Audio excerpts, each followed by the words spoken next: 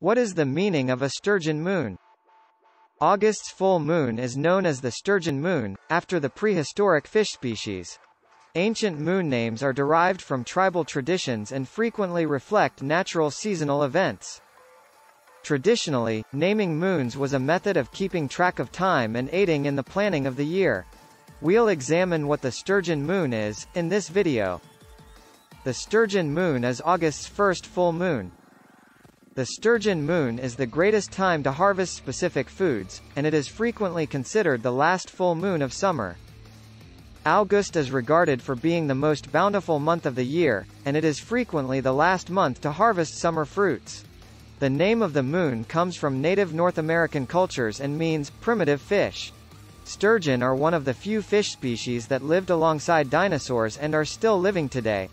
August is the month when sturgeon are plentiful in North America's rivers and large lakes. It was the finest time of year to catch sturgeon, which was an important part of many tribes' diet. The ideal time to catch sturgeon was around the full moon. The moon cycle was first employed to keep track of the time of year in ancient times. Each lunar cycle has 13 full moons, each of which has been given a name to reflect key seasonal events in nature. The sturgeon moon was the name given to August's moon by North American tribes. Because of the abundance of sturgeon fish in the Great Lakes and Lake Champlain, the name sturgeon moon became well known. Our forefathers named the monthly moons after natural events so that humans could keep track of the seasons and plan for major events. Recognizing the time of year based on these seasonal events aided humans in planning and preparing for harvest.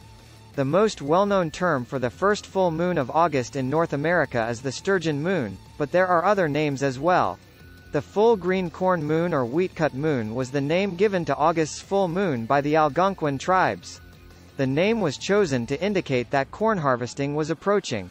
Other North American cultures associated the moon with the ripest fruits. They are said to bring illumination so that lost souls might safely return to the afterlife. The sturgeon moon denotes a period of year when both fruits and fish are ready to be harvested.